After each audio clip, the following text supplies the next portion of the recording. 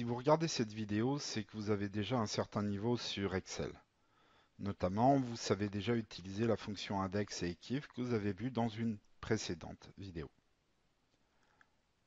Ça, c'est les prérequis pour regarder celle-ci. Alors maintenant, quel est l'intérêt euh, d'imbriquer index et equiv qui isolément sont deux fonctions qui n'ont qu'un intérêt très restreint? Eh bien, nous allons le voir maintenant. D'habitude, vous connaissez donc la recherche verticale, recherche V. Vous l'utilisez. Et si vous l'utilisez depuis un certain temps, vous êtes rendu compte qu'elle avait une limite. Elle se résume dans cet exercice au fait que si vous recherchez ici par exemple un SIRET et que vous voulez renvoyer un nom de société ou une adresse, un comme ça à une ville, il faut que cette colonne SIRET soit à gauche car la recherche V va renvoyer des valeurs qui sont dans des champs situés à droite. Donc là, c'est pas possible. Eh bien, imbriquer index et equiv va vous permettre de pallier à cette limite de la fonction recherche V. Donc un bon utilisateur d'Excel utilise recherche V. Un expert utilise l'imbrication d'index et equiv que nous allons voir maintenant. On voit le résultat ici. Quand je recherche un siret qui est à droite, ça me renvoie bien des valeurs qui sont à gauche. Alors voyons maintenant comment. Je me mets donc dans la cellule où je vais voir apparaître le résultat. Je vais dans l'onglet Formule, chercher donc dans la catégorie Recherche la fonction index, qui est la fonction qui va me renvoyer donc une valeur que je recherche. Donc c'est la version non matricielle d'index qui est utilisée. Je fais donc OK. Alors, trois arguments à la fonction index. Le premier, donc, c'est la matrice. J'aurais pu faire euh, F3 pour aller coller un nom, juste pour des raisons pédagogiques. Je vais bien vous montrer que c'est donc dans le fichier client que je sélectionne l'ensemble du tableau des clients.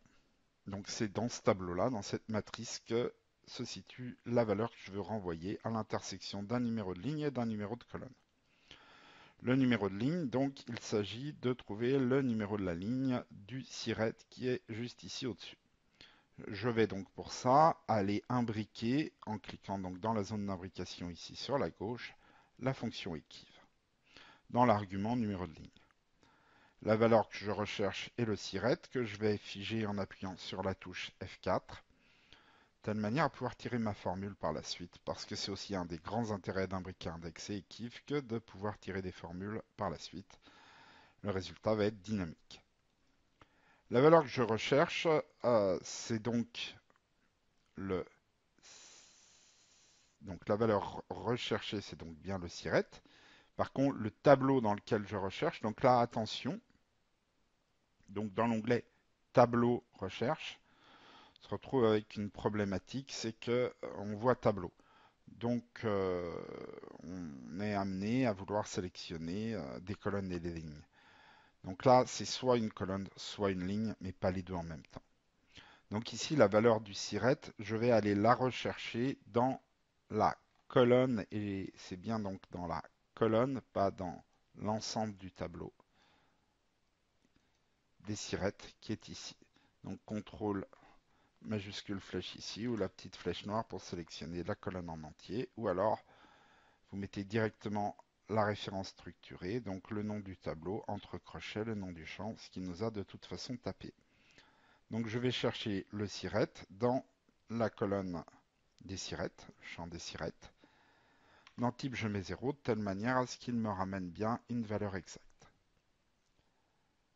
Je reviens sur la fonction index en cliquant dans la barre de formule sur index. Donc là, c'est un rappel de l'imbrication de fonction. Hein. On ne clique pas sur OK tant qu'on n'a pas rempli l'ensemble des arguments. Et pour passer de l'argument d'une fonction à une autre, il suffit de cliquer sur la fonction dans la barre de formule. Donc là, il me le dit ici, le siret en question est sur la 16e ligne. Maintenant, le numéro de la colonne. Donc je pourrais le mettre à la main en me disant que la société va être euh, la première colonne à gauche et mettre 1. Mais quand je vais tirer, je me retrouve embêté. Donc on va rendre tout ça dynamique en réimbriquant une fonction équive dans le numéro de colonne. Donc cette fois-ci, la valeur que, que je recherche, c'est donc la société. Et elle, je ne l'affiche pas de telle manière à ce que quand je tire, je puisse, en descendant, avoir toujours la valeur qui est à gauche que je recherche, donc le nom du champ. Où est-ce que je la recherche? Donc attention, toujours euh, cette euh, idée que il vous dit tableau, mais et que donc votre réflexe va être de sélectionner l'ensemble du tableau quand vous allez débuter. Donc euh, c'est pour ça que j'insiste. Après, une fois que c'est intégré, il n'y a plus de souci, mais voilà, j'insiste. C'est bien l'ensemble d'une ligne ou d'une colonne, ici donc l'ensemble des en-têtes. Et j'aurais pu mettre la référence structurée, donc nom du champ entre crochets en tête avec un dièse. La valeur proche est toujours euh, à 0 de telle manière, avoir une valeur exacte. Voilà, j'ai terminé. J'ai bien vérifié que j'avais rempli tous les arguments avant de cliquer sur OK. C'est le cas, je clique sur OK. La valeur est renvoyée. Donc le fait donc d'avoir mis dans ligne et dans colonne des fonctions équives sur cette fonction index fait que désormais je vais pouvoir aller tirer vers le bas ma formule. J'en profite pour vous montrer qu'ici le numéro de téléphone n'a plus le bon format parce que lorsque j'ai tiré, il a recopié la mise en forme. Donc un petit rappel sur le fait que les balises actives sont très pratiques et qu'elles vont me permettre ici d'avoir des possibilités pour régler des problèmes habituels. En l'occurrence ici, je veux recopier les valeurs sans la mise en forme. Et donc je clique dans cette option sur la balise active, ce qui fait que je retrouve mes mises en forme de base. Voilà, donc nous avons vu comment imbriquer une fonction index et équive et comment donc c'est la solution des experts qui va plus loin que la recherche V.